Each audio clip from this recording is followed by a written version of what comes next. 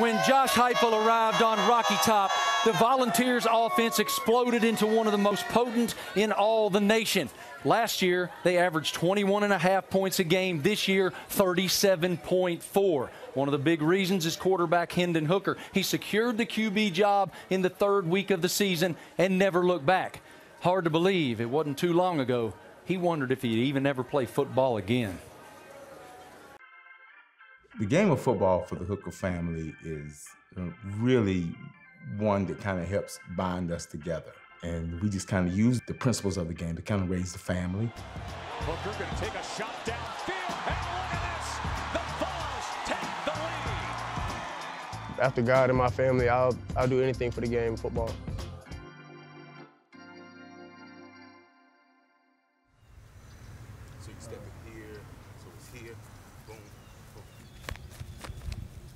It is your off weekend.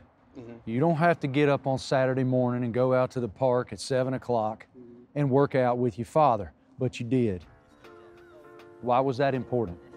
That's just kind of the, um, the mindset that my family has. If we're not getting any work in and it's just all leisure time, then that's not going to benefit us down the road. Tennessee quarterback Hendon Hooker comes from a football family. His father Allen was a record-setting quarterback at North Carolina A&T in the mid-1980s. And that's where his younger brother Austin is a quarterback now. It is incredible. It's a godsend because there is no feeling better than to be able to just have a relationship with your kids and to be able to have things in common. And we're excited about going over to get to see Austin at my alma mater, and and, uh, and he's wearing my number. You see Austin? Yeah, I see him right there. Oh, Austin got the red hat on. Yeah. Okay. My wife would take my highlight tapes and put it in uh, the VHS. And she said, that's, that's daddy right there. And so they would sit there in awe and watch me. A lot of children, their first word is mama or dada. Hendon's first word was ball. Football has been a part of Hendon's life ever since, including winning two state titles in high school, signing to play quarterback at Virginia Tech, and starting 15 games in his last two seasons with the Hokies.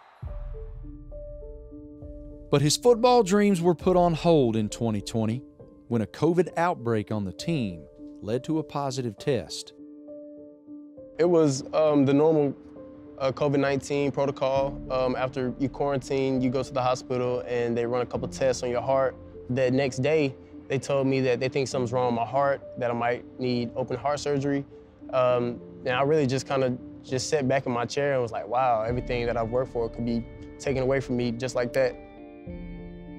We get a phone call saying, hey, you all might want to come up. We need to take a look at Hendon's heart and maybe go through a, an emergency procedure. And they said he may never be able to play sports Yeah, again. and they'll be able to play sports again. And so um, I remember that was scary. As Hendon was prepped for tests on his heart, uncertain what his football future would be, he was moved to detail in writing his appreciation for all the game had given him purpose, identity, family. They were injecting the medicine in me while I was typing it out, um, but I just felt like it was, I just poured my heart out into that poem, promising the game that I would give it my 100% after uh, God and my family. Waking up from the medicine and realizing that I was, I was good to go. Um, the doctor came in and told me that everything checked out clear.